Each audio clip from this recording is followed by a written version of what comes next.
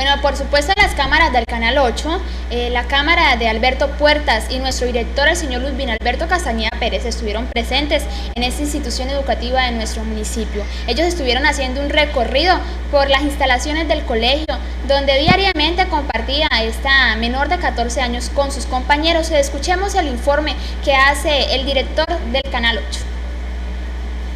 Aquí sobre este arco de la cancha de microfútbol de la institución educativa María Inmaculada eh, se desmayó esta alumna de noveno grado que posteriormente fue trasladada al hospital local de Villa del Rosario y luego remitida hacia una clínica particular en la ciudad de Cúcuta.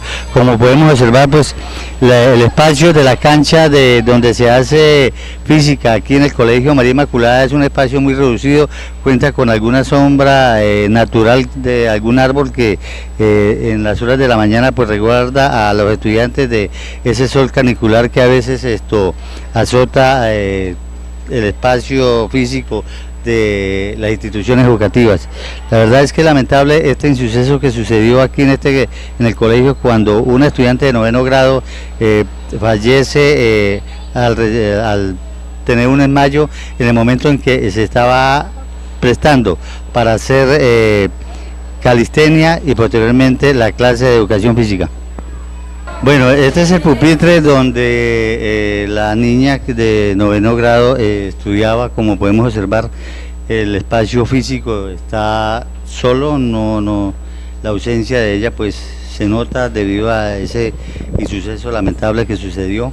Solamente vemos a algunos de sus compañeros que en estos momentos eh, están en el horario de clase.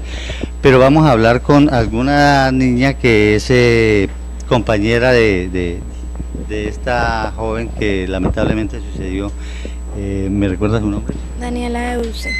Bueno, Daniela, eh, ¿cómo, ¿cómo era ella? ¿Cómo se comportaba? ¿Era una niña muy alegre o era muy parca? Eh, hablemos de la comunidad, ¿cómo era esta niña? Pues Diana Villamizar entró el segundo día de clases y pues fue una niña muy muy dada ella sola, no se, no se le presentó a muchos compañeros y pues fui la primera persona que le habló en el salón. Me contaba cosas de ella y siempre que uno le decía que se hiciera en grupo o algo así, no, no, nos daba la oportunidad de compartir con ella. Eh, tenía algunos problemas familiares con el papá, el papá pues está enfermo, tiene una situación grave. Eh, es una niña, ella me dijo a mí que ella no le gustaba hablarse con nadie porque ella era muy muy tímida y era muy brusca y cuando daba mucha confianza pues se pasaba de los límites y eso no, le, no lo quería hacer en este salón. sin embargo nosotros con algunas compañeras fuimos y le hablamos y le dijimos que se integrara y no quería.